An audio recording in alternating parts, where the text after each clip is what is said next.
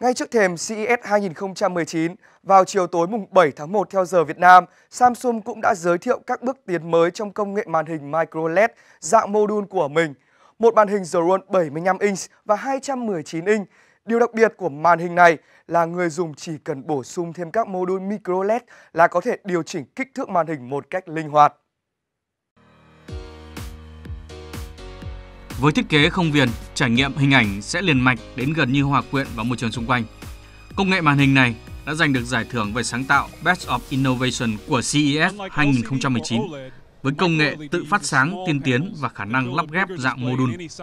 Màn hình micro LED của Samsung đem lại chất lượng hình ảnh, sự linh hoạt và thiết kế chưa từng có trước đây. Các màn hình này được tạo thành từ các mô đun micro LED riêng biệt tự phát sáng, có chứa hàng triệu con chip vô cơ LED màu đỏ, màu xanh lá, màu xanh dương và kích thước siêu vi có khả năng tự phát ra ánh sáng, tái hiện nên những màu sắc sống động trên màn hình, đem lại một chất lượng hình ảnh vượt trội hơn bất kỳ công nghệ hiển thị đang có trên thị trường.